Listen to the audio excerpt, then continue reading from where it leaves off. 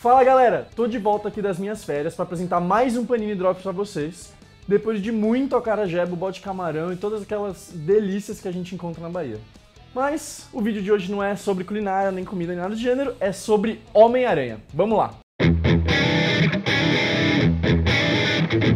Hoje eu tô aqui para apresentar para vocês o mais novo encadernado do nosso escalador de paredes favorito em Homem-Aranha Negócios de Família. Esse encadernado, para quem não conhece, faz parte daquela coleção da Marvel OGN, Original Graphic Novels, que eles vêm lançando periodicamente desde 2013. Nessa história, escrita pelo Mark Wade e pelo James Robinson, a gente vai ver o Peter Parker sendo apresentado a uma, um novo membro de sua família, que é ninguém menos do que a sua até então desconhecida, tanto dele quanto de nós, fãs do personagem, irmã Teresa Parker.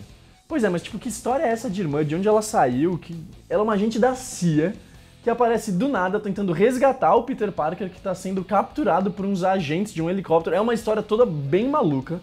Ao longo dela, a gente vai ver os dois irmãos viajando pelo globo, indo numa mistura de uma história meio James Bond, meio Indiana Jones, assim, eles vão para Monte Carlo, pro cassino, depois eles vão pro Egito, procurar umas tumbas ligadas a nazistas, e toda essa maluquice ela tá ligada a um dos principais inimigos do Homem-Aranha, ninguém menos do que o rei do crime, Wilson Fisk. Um outro aspecto do quadrinho que merece um grande destaque é a arte.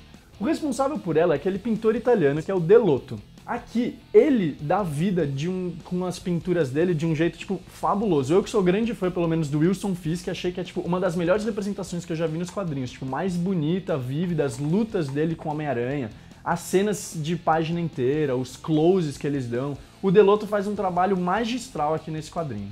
Bom, espero que vocês tenham gostado e tenham ficado interessados nesse quadrinho. Vocês podem encontrar ele pelas bancas e livrarias de todas as regiões do país. E logo logo tem mais drops aí, a gente se vê por lá. Lembrando que tem diversão, tem panini. Até mais, pessoal!